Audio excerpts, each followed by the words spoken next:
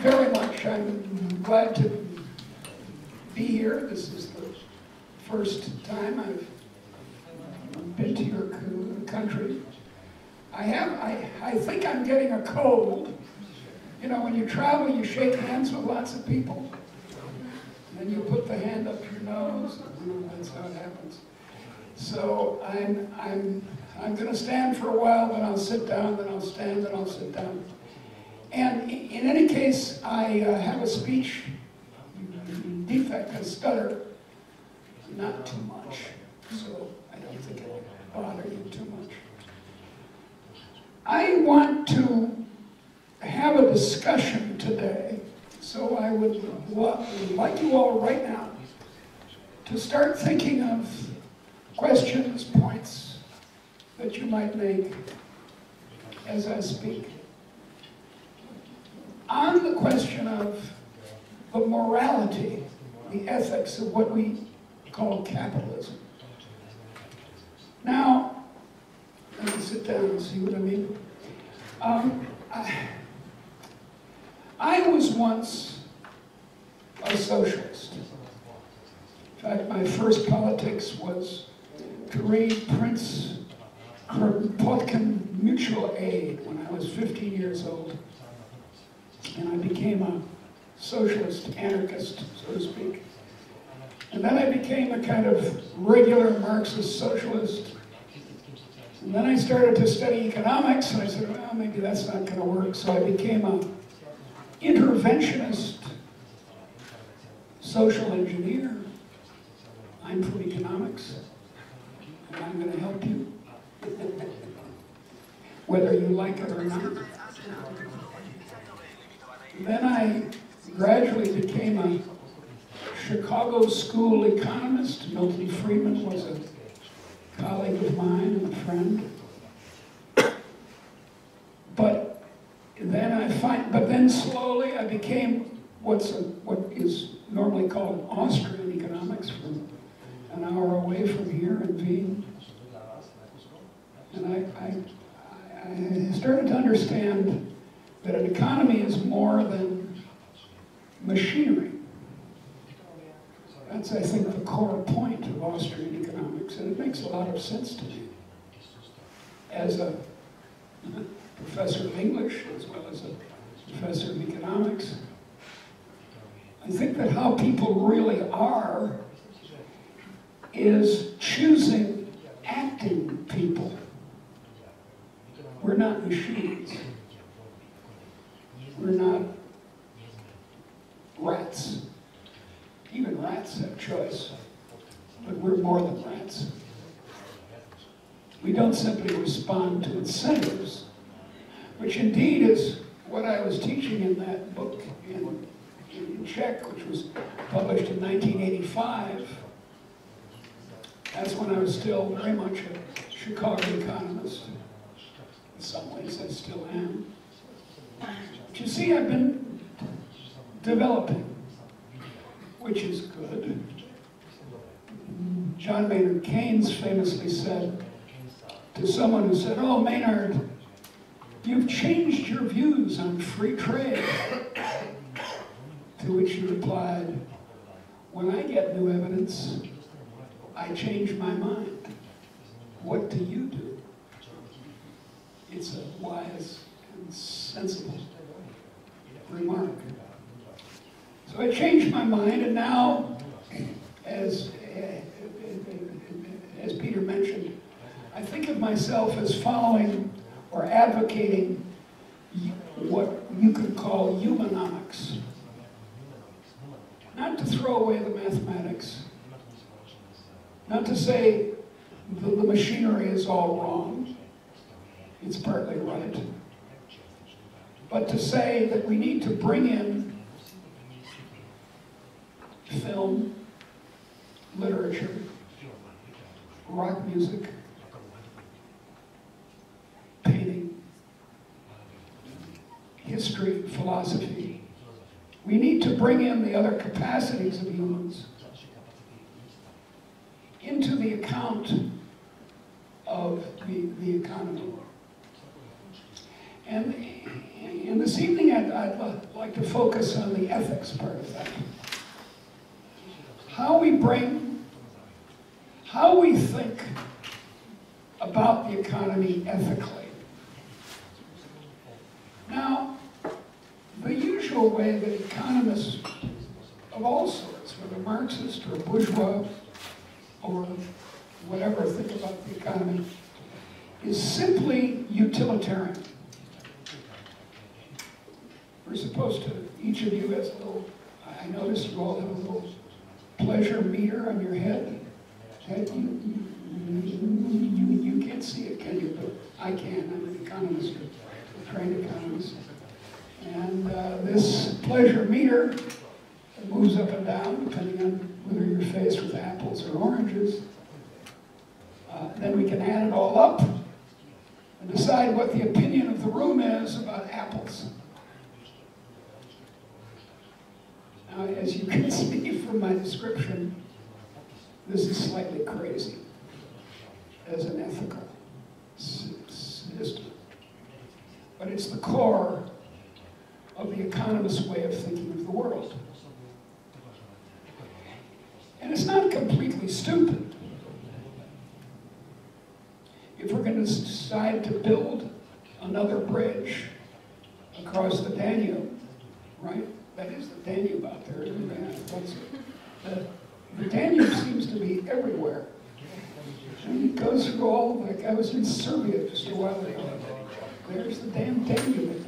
You can't get away from it, it's everywhere.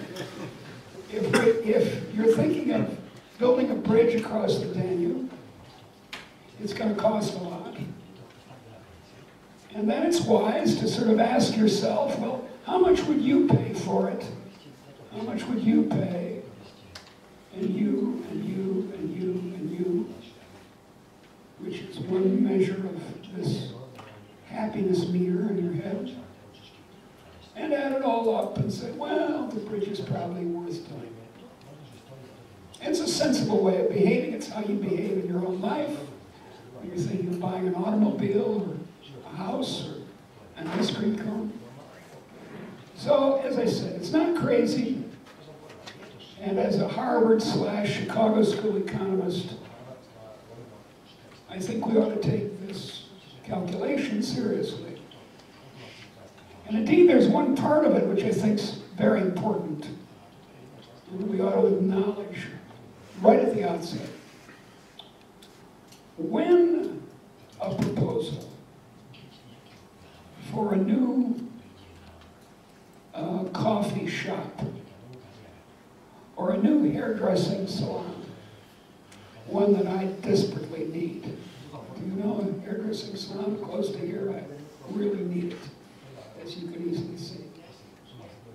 Such a proposal, thank you, uh, I'll ask you afterwards. So, such a proposal to reallocate capital and labor and land, right? To say, okay, we're, we're going to open up a little factory here and make books or water or something. If it is privately profitable, usually from the social point of view, it's a good idea. Usually from the social point of view, it's a good idea. Now there are exceptions. If the factory or the hairdressing salon we're proposing has tremendous, what we call, well, we could call it by normal words, spillovers. If you poison everyone in the neighborhood and they all die of cancer, then the private profitability may be beside the point, right? But for most things, for most projects, private property is the correct test. Now, you don't have to believe me on this. I'm a um, free market type economist. You can consult the socialist theorists of the 1930s. In, in, in the great debate, the socialist calculation debate, it was realized that ideal socialism hear this. Ideal now, this is a special case. The older people here have experienced non-ideal socialism. But all right. Ideal socialism, perfectly planned by geniuses in Bratislava who get everything right, will do the same projects that a completely ideal, again, free market will do. That was the conclusion of the debate. That at their sort of mutual perfection, right? Socialism, capitalism, up here in the ideal world, you want efficiency, you want the largest national income to help poor people, you want an economy that functions well, at least better and, and in both, it, it results in this. So this, so this idea of a profit test is not peculiarly capitalistic. It's rational. You could even say reasonable in most cases. Okay? So you can see that this utilitarian, money-oriented way is not a stupid way or an unethical way necessarily of organizing an economy. It's not too bad. So what, what other ethical guidance have we in thinking about the economy? What other considerations are there?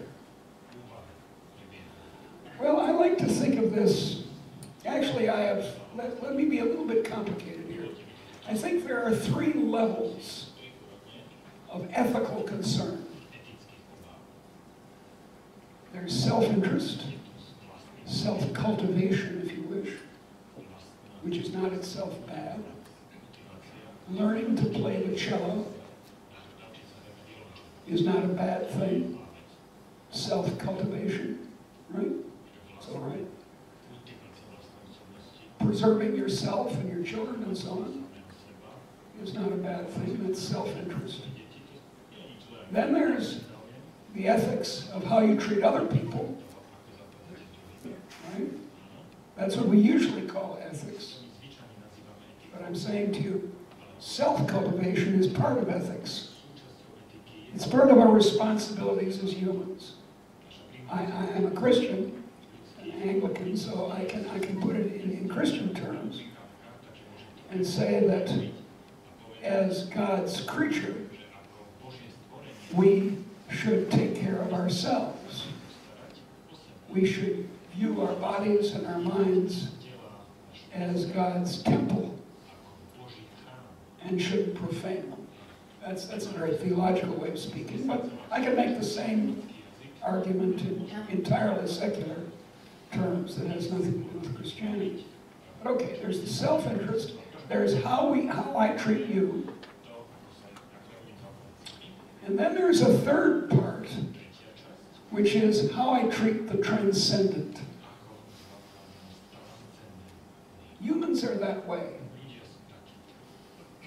They want something more than self-interest or other people interest. They want something sacred, something holy. What's the name of the local football team here? What's it called? Slovan. Okay. Well, maybe some disagreement. It's like Protestants and Catholics. There you go, there's a third. Okay, so, or science. Uh, art. The family. Viewed in a sacred way.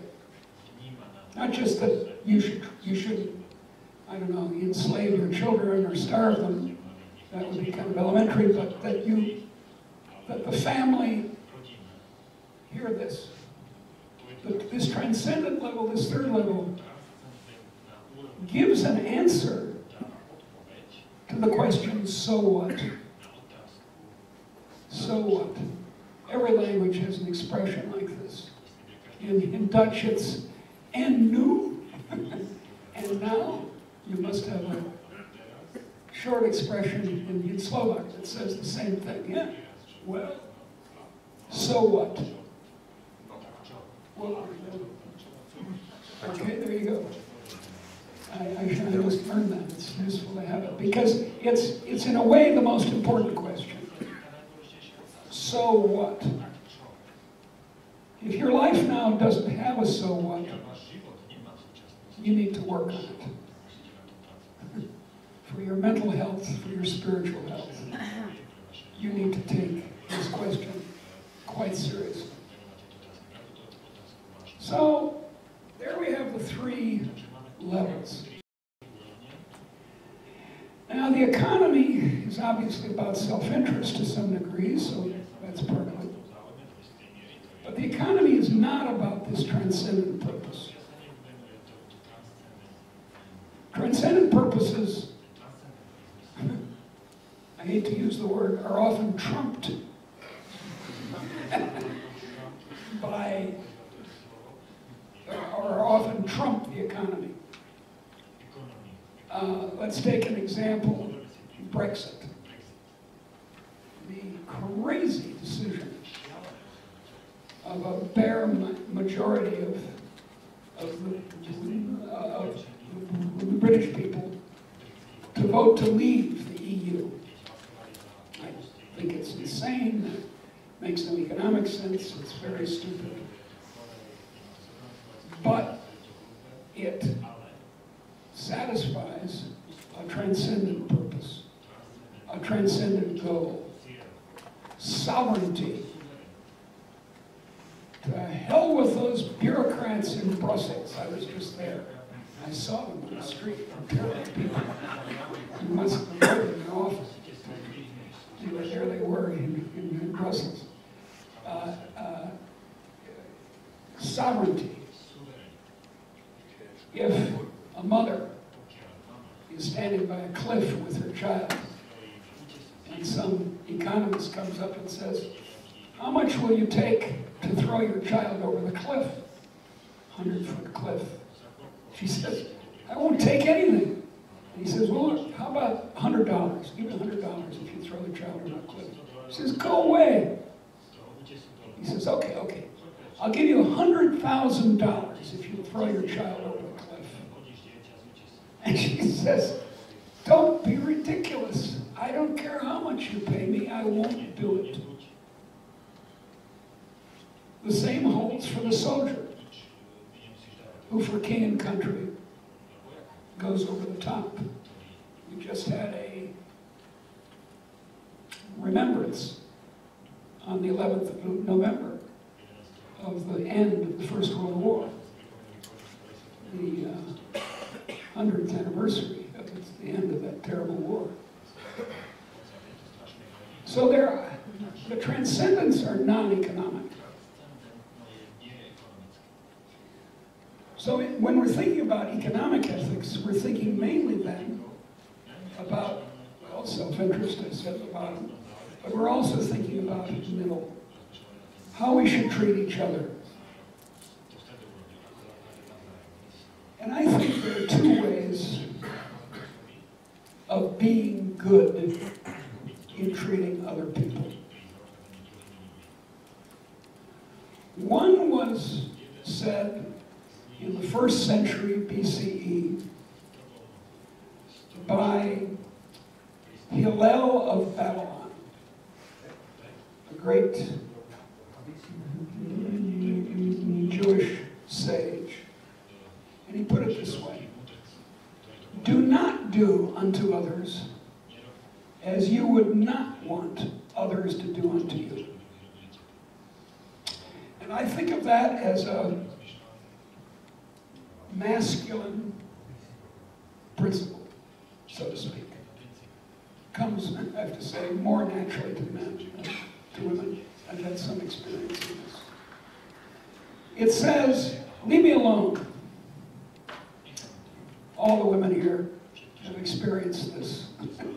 with their, their, their boyfriends or their, leave me alone. I can take care of myself. Don't tread on me. Leave me alone. And it's a good and sensible principle. I saw a cartoon just the other day that showed this liberal, in the Slovak sense, threatening the world. This terrible liberal ho- hovering, oh, this, standing over the world, about to take over the world. And the caption was, a liberal about to take over the world, neoliberalism, you've heard the phrase, in order to leave you alone. take over the world to leave you alone. Doesn't sound like such a terrible thing to do. So that's the first principle. But then there's another principle by another Jewish sage you may have heard of, Jesus of Nazareth. And he put the golden rule in a positive way. He said, Do unto others as you would have them do unto you. That is, in terms of the, of, of the parable of the Good Samaritan, don't pass by on the other side. Be nice.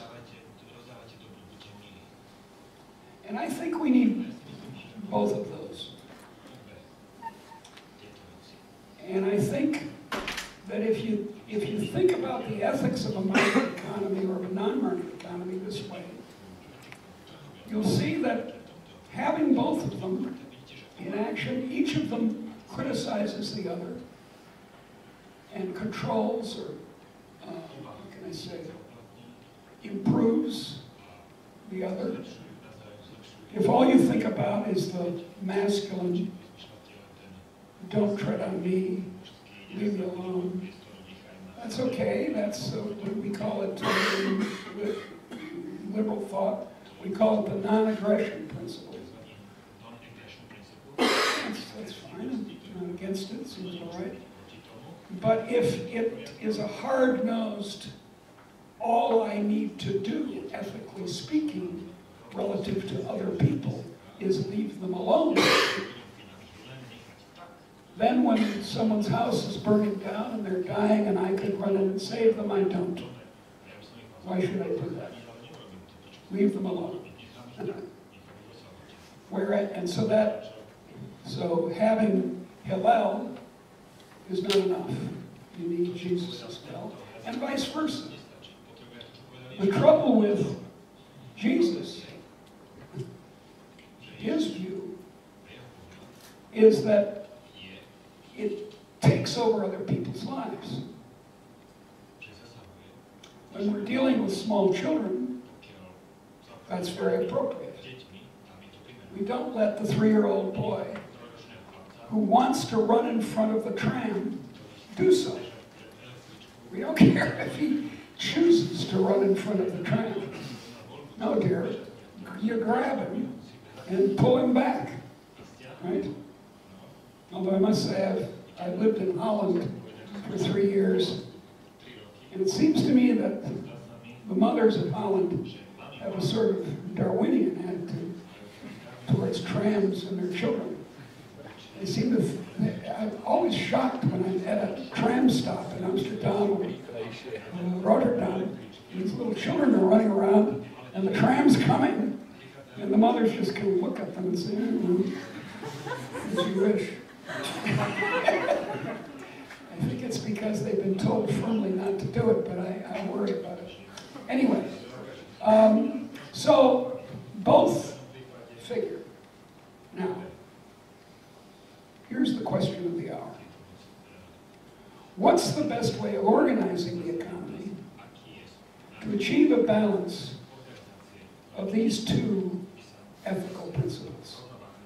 The negative version of the golden rule and the positive version. And I say that the best is what you could call a Christian liberalism or a bleeding heart liberalism, which is kind of an American joke, or a um, um, a put it this way, a loving liberalism. That's that's that's not a bad phrase. I, I just thought of it. A loving liberalism. So you respect people's adult autonomy, but in a loving way. If they need help, you help them. You don't corrupt them. You don't jail them. You help them. So if they're addicted to drugs,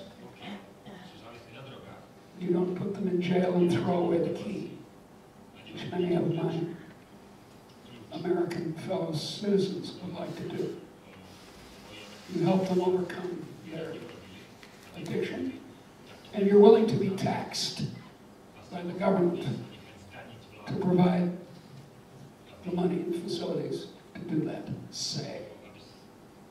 If someone's, if the Danube out here overflows, people through no fault of their own, they didn't build in a floodplain, it just overflowed unusually high, as it did not long ago, and they they get flooded out, you help them.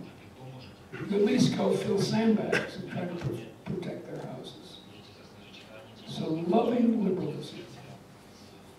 Now, what about socialism? The older people as I said, know about imperfect socialism. A lot of the young people think, oh, well, that was long ago. Communism was long ago. Let's, we'll do it better. We young people, we know how to do socialism. And ours would be a loving socialism. Now, there's a problem here. Why do people believe in socialism? It's been tried repeatedly. And more or less every time it's been tried, in a thoroughgoing way, in a complete way, it's failed disastrously. I mean, not just a little bit, but really badly. Again, the older people here don't need to know this. Bratislava in the early 1990s was a pretty dismal place. On a Sunday morning, you couldn't get a meal. Because though it was profitable, no one bothered to open a restaurant that would serve on Sunday mornings. You know, the old, there's many socialist jokes. We pretend to work and they pretend to pay us. Under capitalism, man exploits man. Under socialism, it's the other way around. That's their, that's, their, we all know One of the good things about socialism in Eastern Europe is that it generated a lot of very good jokes. Let me tell you one, because it's so good. I heard it first in Poland in 1988, the week before the government agreed to speak to Solidarity. Here's how it goes. A man is sent by his wife to buy meat in communist Poland. He goes to the meat store, the butcher, and there are a hundred people there in this long line waiting to get meat at the controlled price. And he waits for an hour and gets closer and closer to the front. He's three people away from the front. And the butcher says, I'm sorry, we're out of meat, and closes the, thing. Sorry, no meat. And the man says, starts shouting. There are lots of people still in the store. Starts shouting. He says, This communist system, this is terrible. We've got to get rid of this and adopt capitalism. This is awful. I hate it. I hate it. And A man comes up to him in a trench coat, you know, like a Secret Service agent. He Says, comrade, don't talk this way. And then he, the guy goes like this, he says, so the man goes home. His wife says, did you get any meat? Of course I didn't. This stupid communist system, it's terrible. But there's worse news. They're out of bullets.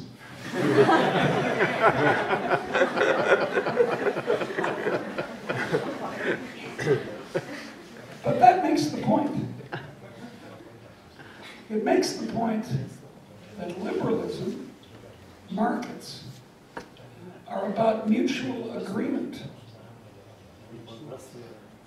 And running the economy through the state, whether it's full socialism or partial socialism that almost every country in the world has, of very high taxation and lots of regulation, works through the fist, works through the bullets. If you don't pay your taxes, even if you like them, you say, oh, it's wonderful, the Slovak government is so great. It does all these wonderful things and I'm glad to pay my taxes. If you say, if your husband decides not to pay his taxes, you go to jail.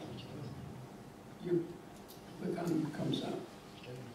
Whereas if you don't buy a certain kind of toothpaste, remember under communism you had one kind of toothpaste.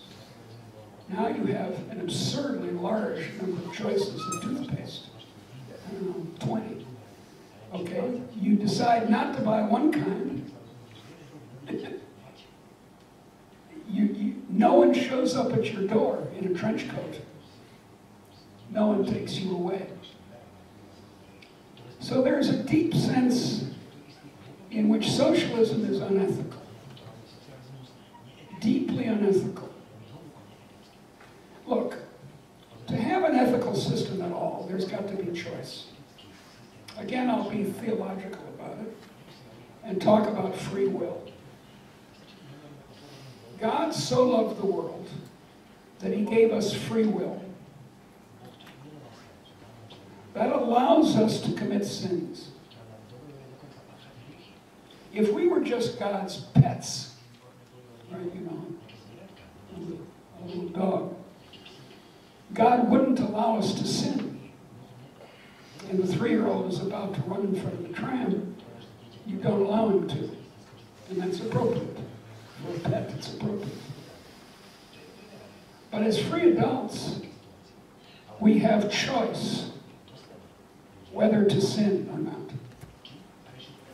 So free will in Christianity, or in Islam, or in Hinduism, or whatever you want, is similar, is deeply similar to the free will in a market society, where you're permitted to choose. You can go to work or not. You can, uh, now, it may be terribly inconvenient not to go to work. I admit that.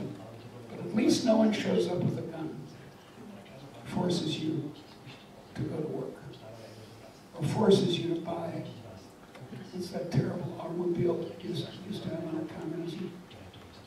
Some horrible automobile. Yeah. Okay. So there, there is a sense, there is a deep sense in which what we're calling right now capitalism, by the way, I don't like the word, I'll explain why in a few minutes, but why capitalism is superior to socialism, ethically speaking. Because it's about the choice of adults. Now, why is socialism so popular? Why, why do we keep getting, among young people especially, and some of the old people who have not very good memories, um, that, oh, we ought to go to socialism, try it again.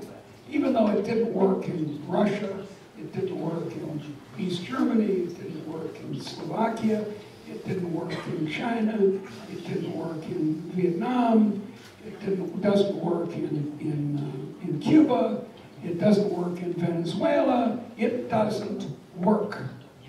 The evidence is extremely clear that large societies, that's an important exception, can't work under this principle of from each according to his, uh, his ability, to each according to her need.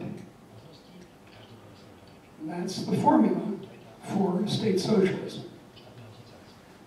It doesn't work. Why do people keep doing it? Because what I've just said is a description of family. To each according to her need, from each according to his ability. That's how a family works and should. It's how a group of friends work. Small group of friends. I mean, if I buy a pizza for my friends, and they come over to my house and we got a bunch of pizza there, and I say, well, you know, I paid for the pizza, I'm going to eat it all. That's the last time they'll come to my house. That's a friendship destroying uh, remark, right? But in a family, so in a family or a small group of friends, that's entirely appropriate. In a in a military unit, that's how it works. Um, uh, soldiers work this way. And indeed, lots of small human groups work in this family way. And it's entirely appropriate and sensible and good. There's no problem with it. But elevated to a principle for a country like mine with 230 million people, yours, what's the population? Okay, over 5 million people, it doesn't work. It doesn't work for all the usual reasons, free riding, et cetera, et cetera. But the core ethical problem is that it's compelled. Among a group of friends, now here we're getting again to this matter of the transcendent, or in a family, the transcendent value of friendship, this top level of ethics, is what governs and should. And it works just fine. But in the middle, how you treat other people, how you treat strangers in particular, people with whom you have no sacred obligations, no, uh, um, well, no is perhaps too strong a word, but who, that, that, you, that the ordinary way of dealing with people in a large society is as anonymous contractors. You hand the person money for the newspaper and he gives you the newspaper. And you don't have to be his friend. So you see, capitalism is an ethical system. Before telling you, I've promised you I'm going to tell you why I don't like the word capitalism. Okay, suppose I, I tell you now. It's a stupid word. It's completely wrong. It's a scientific error squeezed into a word. What's wrong with it is that capital accumulation is not how an economy becomes rich. Adam Smith, whom I extravagantly admire, was the one who started this mistake. He was comparing, I don't know, the highlands of Scotland with the most prosperous area of Europe at the time, namely Holland. And he, he talks frequently about how Holland has accumulated capital. You know, it's built the canals houses and so on, and that's what makes it rich by comparison with this impoverished area of his own country, Scotland. So he started this, Marx followed it. All economists, whether Marxist or bourgeois, have followed this idea that what makes us rich is piling up capital. And that is completely wrong. what makes us rich is good ideas. Good ideas for using capital, using labor, using land, using the rights we have as ci- ci- citizens of a free country. Those are the things that make us rich. We, look, think of this hotel, very nice hotel, highly recommend it. You take this hotel and put it 30 kilometers out of town, in the middle of a, I don't know, bean field or something, and it suddenly becomes worthless. Because it's a terribly bad idea to have a hotel 30 kilometers out of Bratislava in the middle of a bean field. Not by the airport, somewhere else. It's a stupid idea. So you see, pouring capital into an economy is not the idea. Is not how to get rich. Having good ideas is what makes you rich. Now, how do you have good ideas? How, well, let- let's, let's first, let me make a couple of points on the economic history here, and then we'll get back to the core ethical question, and then we'll start having a discussion. You have to understand, if, if you learn nothing else from this evening, understand the following quantitative point. Since 1800, real income per head in Slovakia has increased easily 20 times. Real income per person. The ability to purchase goods and services. And all you have to do is kind of look around this room to know that that's true. I take it there are no descendants here of the crowned heads of the Austro-Hungarian Empire. Any Habsburgs in the audience? I won't mind, but I doubt there are. I know that my people were Irish and Norwegian peasants. Everyone here, I'm afraid, I look around and all look kind of low class to me. I know that I would look low class. We're not the descendants of aristocrats. And the people in 1800 that were your great, great, great, great, great, great grandparents were unspeakably poor. I mean, really poor. They died young. They were undernourished. They were shorter than you are because they were undernourished. They were ignorant. Um, I speak of my Irish ancestors. My Norwegians could read, but not the Irish. Uh, they uh, had no education at all beyond nothing. Their ability to travel was their feet. That there is a famous episode when the when the Soviets back in 1940 wanted to show that American capitalism was a terrible mess.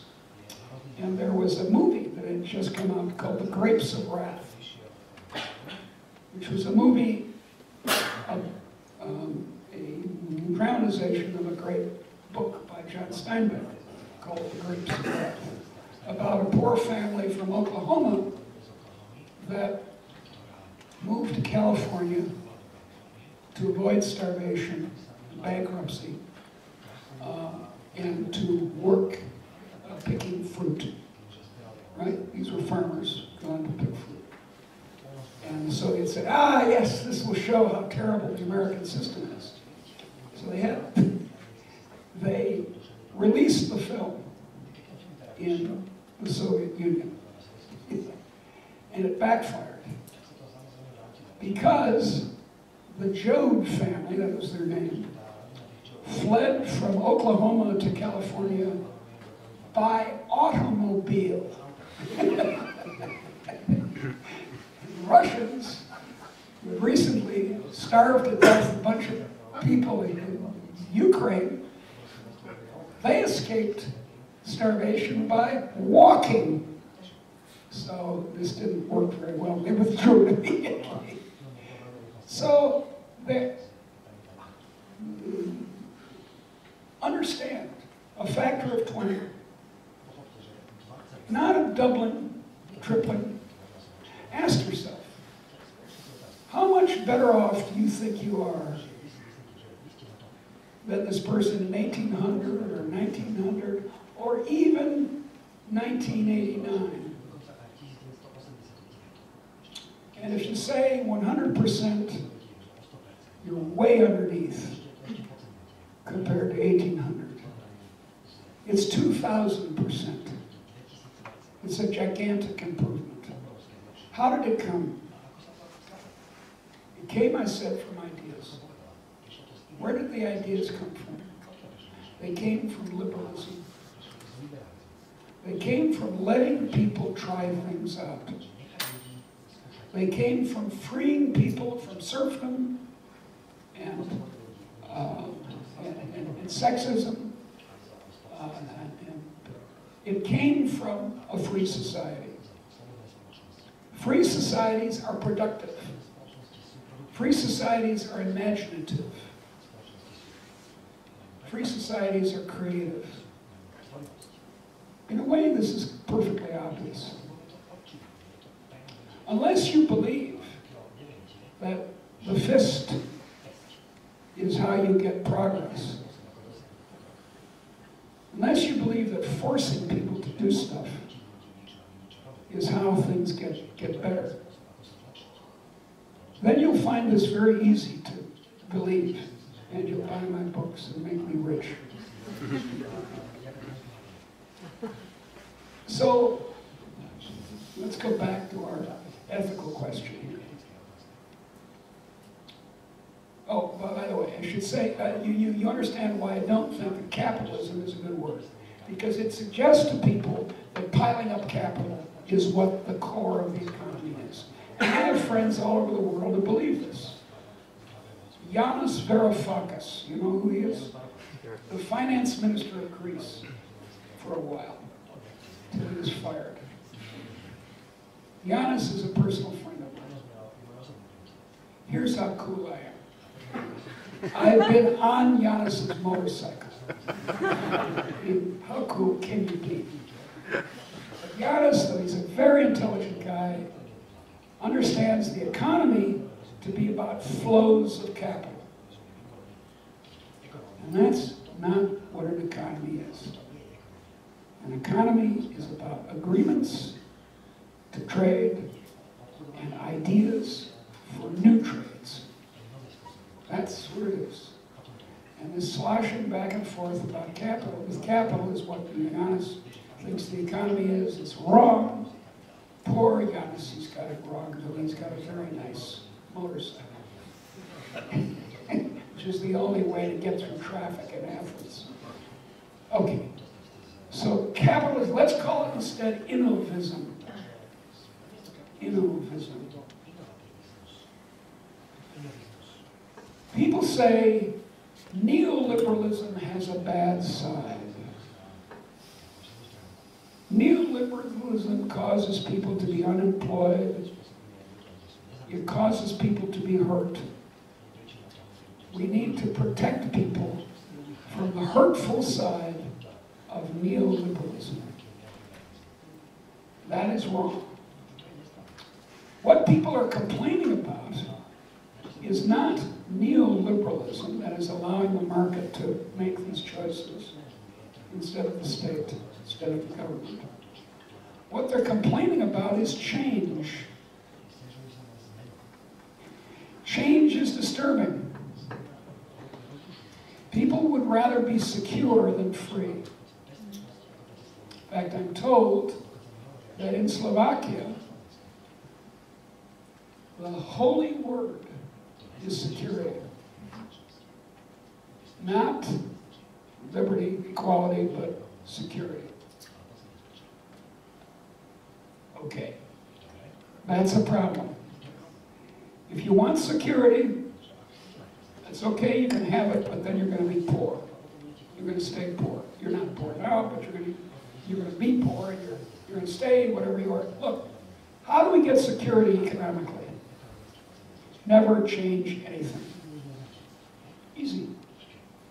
if there's a hairdressing salon in the neighborhood, it stays, no new ones are opened. If there's a farmer who's making beans or cabbage, he goes on making exactly the same, growing exactly the same beans and cabbage for the rest of his life. You do tomorrow exactly what you did today. Never change. Security. The problem is that your, your children and your grandchildren will be just as poor as you are. They'll have fewer and they'll have no opportunities of the sort that since co- communism you've gained, and indeed since 1800 you've gained. So change is what's worrying people. Now, as an old person, I understand change. I'm very irritated by much of the change in my life. On the other hand, as an economist, uh, a person who believes in innovism, I say to myself, oh, Deirdre, stop being so irritated by the novelties. So, in short, that's the claim.